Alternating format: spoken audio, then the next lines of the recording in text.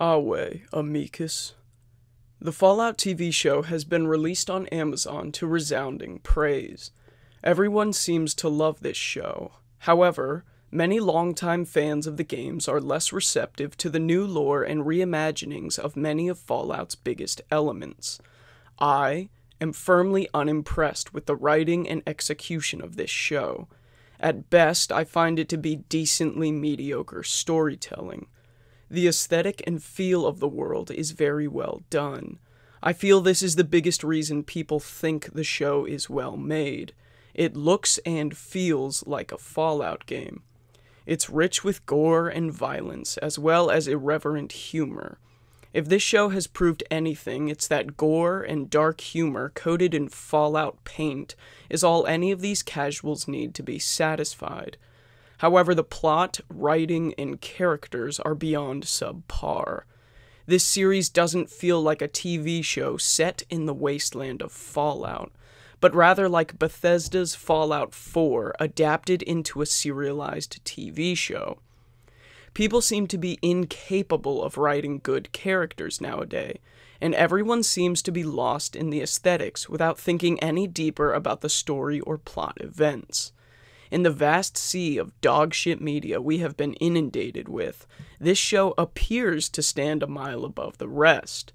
But just because something mediocre came out in a sea of garbage doesn't mean it's actually well done. Now, while there are many issues with the show in its entirety, it's not all bad. I don't feel it's bad enough to make a video on each episode, and I'm sure many people will be doing that regardless. Like I said, it's decently mediocre. It's not as offensively bad as something like Rings of Power was. However, since there are still many flaws in it, I have decided to write this video about the three biggest issues I have with the show. I'll assume viewers have seen the show in its entirety, so I won't be giving long contextual recaps for points as I go. Now, the three biggest issues I have are the ghoul retcon and new lore, the abysmal writing for Maximus' character, and the vaults. Let's start with the ghouls. We are introduced to a ghoul character named Cooper Howard. The show then establishes that ghouls need a special elixir regularly or else they will become feral. This retcons so much of the lore of Fallout. If a ghoul needs this serum regularly to stave off becoming feral, then how did Cooper survive years inside that coffin without becoming feral? The show seems to follow the kid in a fridge logic that ghouls do not need to eat or drink to survive. Cooper Howard being able to survive for years in that coffin is evidence for as much. But we can see Cooper fighting off feral coughs on a daily basis without the serum, so, how did he survive in that coffin for any substantial length of time? The show invented and introduced this anti feral serum, and all it does is cause problems with the lore and the story. Ghouls are individuals that survived the Great War and somehow gained immortality from the radiation around them. Turning feral was never, and should not be, dependent on a magical liquid. On that same topic, being a ghoul does not give you Wolverine style regenerating abilities. Ghouls have always been living corpses. They can live indefinitely, but they do not regenerate lost or damaged limbs. The reason ghouls look the way they do is because they can simply outlive most non fatal damage done to them. The radiation somehow keeps them alive, but damage done by combat accidents and the passage of time are left with the ghouls permanently. That's why Set looks like Set does. Otherwise, there wouldn't be a distinction between ghouls and smoothskins. If the ghoulification undid any damage done to the body, then their faces wouldn't be rotten and their noses wouldn't fall off. Ghoulification is caused by prolonged exposure to radiation, not an instant ghoul poison injection by a crooked salesman. A character named Thaddeus is injected with gray juice, and suddenly his bones, muscle, veins, and tissue regrow in an instant. When this happened in the show, I figured the man had given him some intense drug that made him hallucinate his foot getting better. Then he would proceed to keel over and die. But instead, this salesman has a vial of immortality juice. If ghoulification functioned in this way, then it would be the most coveted resource in the wasteland. After becoming a ghoul, Thaddeus later has an arrow go through his neck. He pulls it out and it simply heals. This explains why Cooper can just take machine gun fire to the torso and be fine.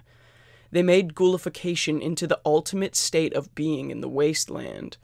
Never taking damage, never dying of old age, never worrying about radiation levels, never having to eat or drink, but being dependent on a supply of mystery serum from who knows where. This is fundamentally not what ghouls are in the Fallout franchise. The only real similarity between the TV show's ghouls and the ghouls of Fallout is their appearance, and even that isn't executed correctly. Cooper does not look like a ghoul, he is just a bald man with gaunt eyes and no nose. The raider who married Lucy looked more like a ghoul after his face was maimed than Cooper does through the entire show. Obviously, they did this because they have a great actor playing Cooper and want to show off the handsome face they paid for. But these ghouls are fundamentally different from any iteration of ghouls we have seen in the Fallout franchise. It seems like they just took the aesthetic and made the rest up. These can't be a West Coast style of ghoul either, because this show takes place in locations we have been in during the first two Fallout games. Was Necropolis sitting on top of a massive store of ghoul fluid? Well, they must have, otherwise, the place would only have been inhabited by ferals. And why would they all leave after their water chip was stolen? Since Bethesda made it clear that this show is canon, I guess it's set in stone that ghouls don't need to eat or drink to survive, so they've doubled down on ruining one of the biggest decisions the player makes in Fallout 1. Thanks, guys. No, no, fuck us fans for caring about the world of Fallout. Oh, did, did I say caring? Whoops, I meant toxic fanboy seething and coping, right? Right. This show fundamentally changes the nature of ghouls in the Fallout world, and not for the better. Now they function more like vampires, but instead of blood, they need ghoul serum. It appears to me that the only reason for this was to have a get out of wounded card for Thaddeus and a drug for Cooper Howard to keep piping on and using for some short sighted, inconsequential plot motivation. I ask you if you think that was worth retconning the entire franchise's lore on one of its most prominent and memorable elements. For me, the answer is clearly no. Next, we will talk about Maximus. Let me begin by saying the character of Maximus was written as a fundamentally bad character. He is a very bad guy not in the way Lucy is changed by the wasteland into becoming a more grizzled and morally gray individual, but he is just a bad person. He is shown to be envious, vindictive, cruel, short sighted, and incredibly malicious. We are introduced to him being bullied at the Brotherhood of Steel barracks. This could be a reason for him to hold grudges or ill feelings toward his fellow members but instead they wrote him like a school shooter. People were mean to him, and so he is cruel to them the first chance he gets. He actively takes pleasure in putting his fellow members in pain and seeing them in discomfort. How are people supposed to sympathize with this homicidal psychopath? He holds none of the values of the Brotherhood of Steel. For being raised in the cult that is the Brotherhood of Steel, it seems to have had no impact on him. He has no moral values. He was written to be a bleak comic relief. The writers unironically wrote a Brotherhood of Steel version of Finn from the Star Wars sequels. He is a cowardly, self righteous, uncooperative, vindictive villain. We are first shown how he is bullied by the other Brotherhood members. Then he is accused of harming a squire. This character acts as guilty as he possibly can in every instance. The second the elder starts questioning him, he pulls his chin to his neck and begins to cry. This is the first of a few instances of him trying to be as guilty as possible. This stammering, murderous incel is then sent to be the new squire for a knight by the name of Titus. When Titus is attacked by a Yao Guai, he trips and hits his head on a rock. This somehow knocks him out inside the power armor. I'd just like to point out that later Maximus crashes headfirst into the ground from hundreds of feet up and isn't even concussed by it. But sure, whatever.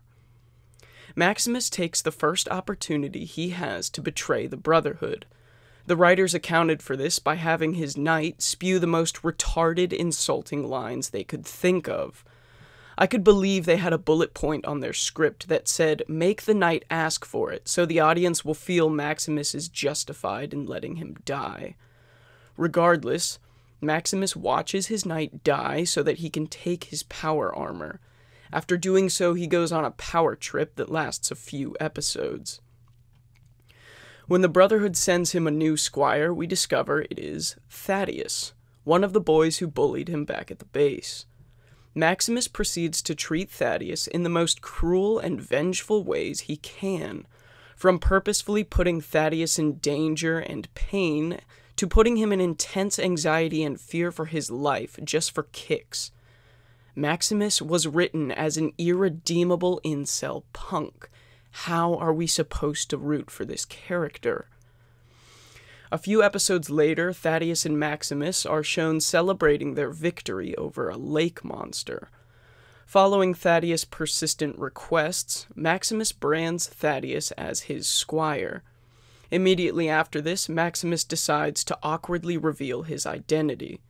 Before Thaddeus's wound is even cold, Maximus reveals he is not the knight Titus. He could have made Thaddeus swear on his life or the Brotherhood to keep the secret he was about to reveal. He could have not revealed it in the guiltiest way possible. But I swear to God, this show wants us to hate Maximus. They wrote him as the most vindictive, stammering, awkward character they could. It's like he is trying to act as guilty as possible in every instance. His first words after showing his face are, We can still be friends, and you and I just need to get our story straight. The obvious choice would be to tell how Knight Titus lost his life to a Yao Guai. The scars are evidence of as much and how, out of duty to the Brotherhood, the squire took the armor to carry on his knight's mission. Instead, Maximus stammers like a fish out of water in a conversation he just initiated. Thaddeus is right to assume Maximus is a cold blooded killer. He tells Maximus that the Brotherhood will surely find out. He doesn't even condemn Maximus, he just asks him what happened. Instead of diffusing the situation, Maximus again uses his power armor to bully everyone he comes in contact with. He says, I should have known better than to trust you. What the fuck, Maximus? Instead of rationalizing his actions or trying to explain, he actually tries to kill Thaddeus. They wrote this character as a psychopath. There are so many ways he could have revealed this to Thaddeus, but this was by far the most short sighted, impulsive way you could have gone about it. You reveal your identity in the most conspicuous and guilty way.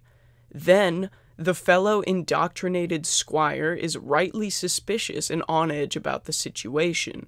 Why would your first choice be to act as intimidating and uncooperative as possible? And then what? Your solution is to kill him? Thaddeus locks Maximus into the power armor suit.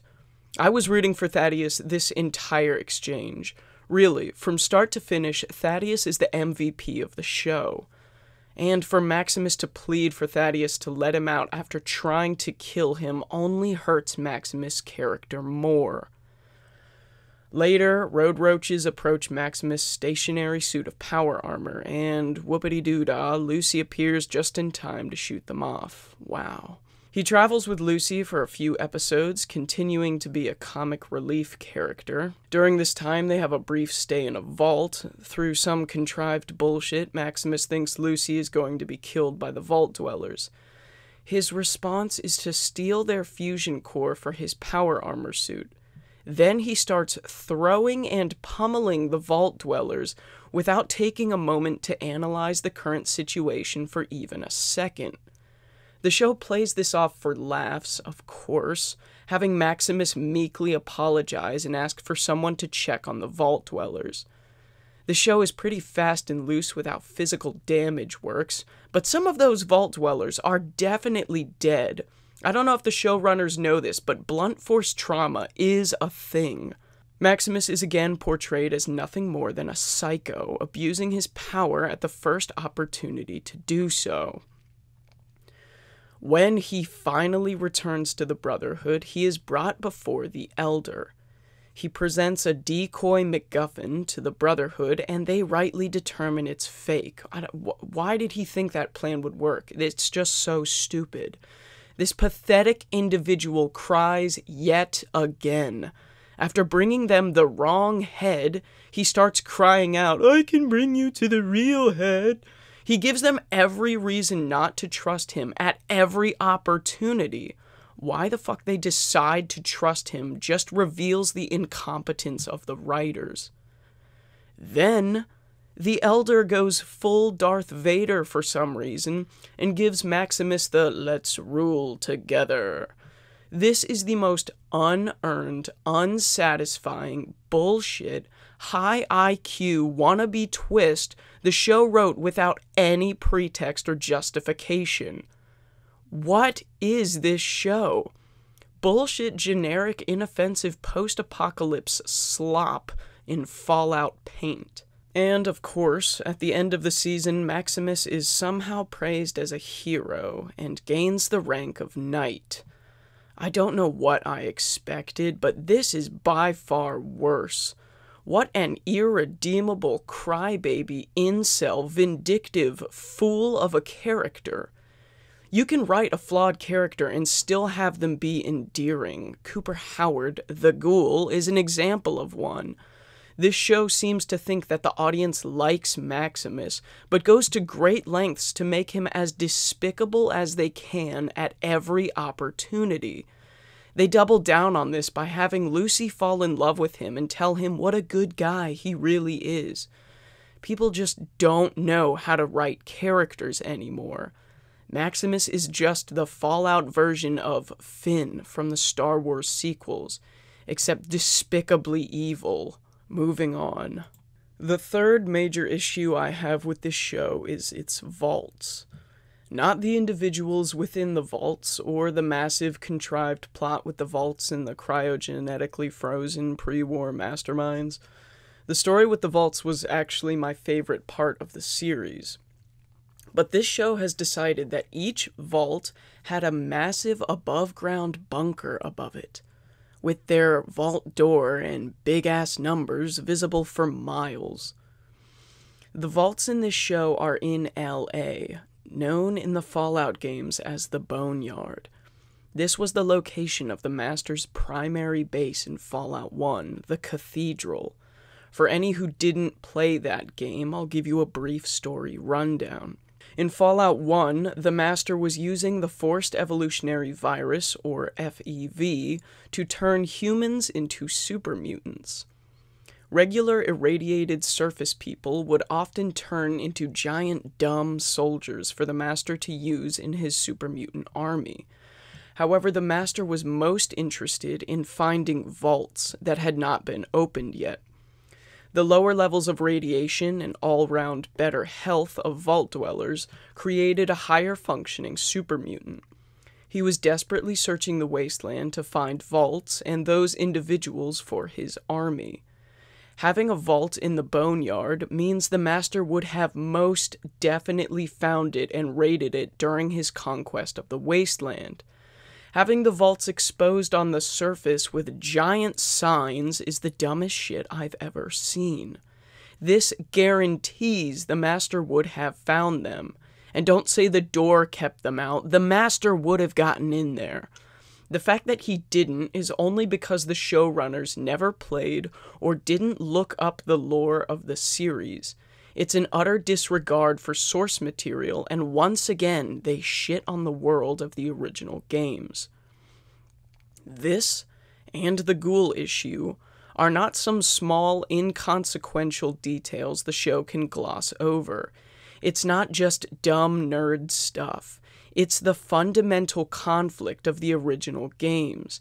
It retcons and shits on the games that created the franchise to begin with. Now, I don't care if people like this show. It's clearly made for the widest possible audience. Everyone except the die-hard fans of the series. There seems to be some contention online about whether or not you're a fan of Fallout depending on your view of the show. The plebeians on Reddit love to tell you that the show is great, and any complaints are just coping and seething from Fallout purists. I wouldn't say they aren't Fallout fans, because that's a retarded argument I don't have the time or energy to care about. I'd say the distinction is simply how much you are willing to engage with the game world. Imagine the Fallout franchise and the world is a big ol' ocean. People like me are down here scuba diving at the bottom.